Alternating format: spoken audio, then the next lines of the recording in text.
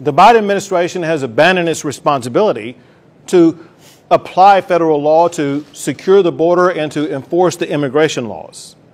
And Texans are suffering as a consequence of that neglect by the Biden administration.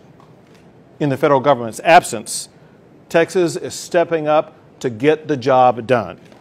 We will build the wall, we will secure the border, but most importantly, we will restore safety to the citizens who live in the Lone Star State.